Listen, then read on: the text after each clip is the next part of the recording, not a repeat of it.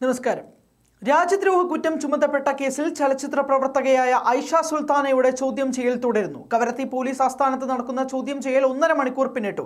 Police സ്റ്റേഷനിൽ ഹാജരാകാനായിരുന്നു ആദ്യം notice നൽകിയിരുന്നത്. എന്നാൽ ചോദ്യം ചെയ്യൽ മുതിർന്ന ഉദ്യോഗസ്ഥരുടെ സാന്നിധ്യത്തിൽ നടക്കേണ്ടതുണ്ടെന്ന നിരീക്ഷണത്തെ തുടർന്ന് ഐഷയെ എസ് പി ഓഫീസിലേക്ക് വിളിപ്പിക്കുകയായിരുന്നു. കളക്ടറുടെ നിർദ്ദേശപ്രകാരമാണ് തീരുമാനമെന്നാണ് സൂചന. അഭിഭാഷകനൊപ്പമാണ് ഐഷ ഹാജരായത്. ചാനൽ ചർച്ചയ്ക്കിടെ കേന്ദ്ര സർക്കാരിനെതിരെ ബയോ വെപ്പൺ എന്ന പരാമർശം ഉന്നയിച്ചത് ചോദ്യം ചെയ്ത് ലക്ഷദ്വീപ് ബി ജെ പി അധ്യക്ഷൻ നൽകിയ പരാതിയിലാണ് നടപടി. രാജ്യദ്രോഹ കുറ്റങ്ങൾ ഉൾപ്പെടുന്ന പന്ത്രണ്ട് എ നൂറ്റി അൻപത്തി മൂന്ന് ബി വകുപ്പുകൾ ചുമത്തിയാണ് കേസെടുത്തിരിക്കുന്നത്. അറസ്റ്റ് അടക്കമുള്ള നടപടിയിലേക്ക് കടക്കുകയാണെങ്കിൽ അൻപതിനായിരം രൂപയും രണ്ട് ആൾ ജാമ്യത്തിലും ഐഷയ്ക്ക് താൽക്കാലിക ജാമ്യം അനുവദിക്കാമെന്നാണ് കോടതി ഉത്തരവ്.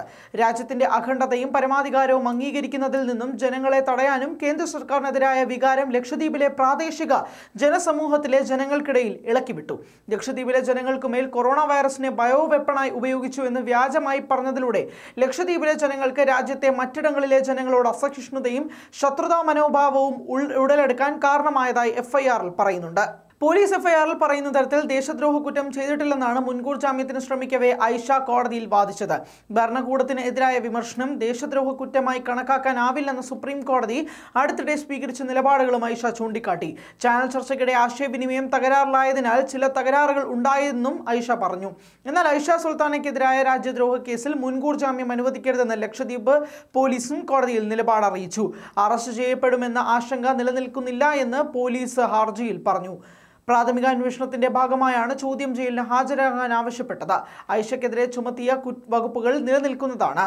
ക്രിമിനൽ നടപടി നടപടിച്ചട്ടം നാൽപ്പത്തിയൊന്ന് എ പ്രകാരമാണ് നോട്ടീസ് നൽകിയതെന്നും പോലീസ് വ്യക്തമാക്കിയിരുന്നു. അതുകൊണ്ട് മുൻകൂർ ജാമ്യ ഹർജി നിലനിൽക്കില്ലെന്നായിരുന്നു പോലീസ് വാദം.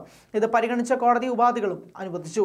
ബയോ വെപ്പൺ പരാമർശത്തിൽ ലക്ഷദ്വീപ് പോലീസ് രജിസ്റ്റർ ചെയ്ത അന്വേഷണവുമായി ഐഷ സുൽത്താന സഹകരിക്കണമെന്ന് തുടർന്ന് ഹൈക്കോടതി ഉത്തരവിടുകയായിരുന്നു.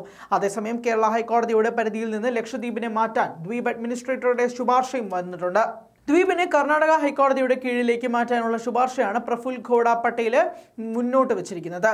കേരളവും ദ്വീപും തമ്മിലുള്ള ബന്ധം പൂർണമായും ഇല്ലാതാക്കുക എന്ന ലക്ഷ്യമാണ് ദ്വീപ് ഭരണകൂടത്തിന്റെത്. നേരത്തെ ചരക്ക് സേവന നടപടികൾ ബേപ്പൂരിൽ നിന്നും മംഗലാപുരത്തേക്ക് മാറ്റാനുള്ള നടപടികളിലേക്കും ഭരണകൂടം കടന്നിരുന്നു. ഭരണപരിഷ്കാരങ്ങൾ തുടരുമെന്ന സൂചനയാണ് ദ്വീപിനെ കർണാടക ഹൈക്കോടതിയുടെ പരിധിയിൽ ഉൾപ്പെടുത്താതുകൊണ്ട് ഉദ്ദേശിക്കുന്നതെന്ന് വേണം കരുതാൻ.